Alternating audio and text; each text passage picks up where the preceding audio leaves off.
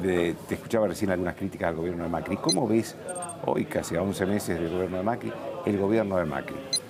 Mira, yo, yo también no sé si es en verdad una crítica a él o es a él y a mí mismo.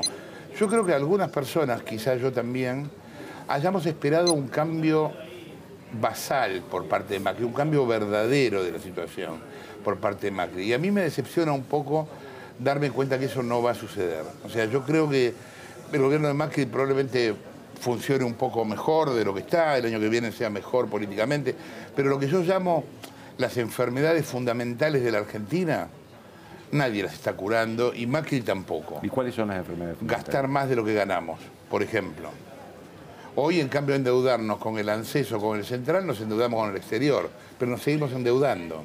O sea, no hay, no hay, eh, yo entiendo, la batalla de Macri en, en algún sentido es la más difícil porque es cultural, no es política. Lo que él tiene que cambiar, lo que debiera cambiar es muchísimo. Y tampoco sé si él podría verlo, a lo mejor, lo que él empiece.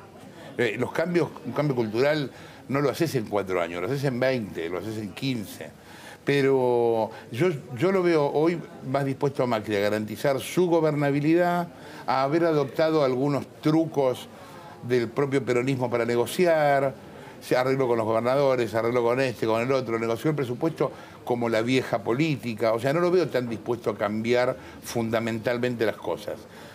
Probablemente algunas cosas cambien, pero no va a ser Macri, creo yo, ojalá me equivoque, no va a ser Macri que cambie la Argentina.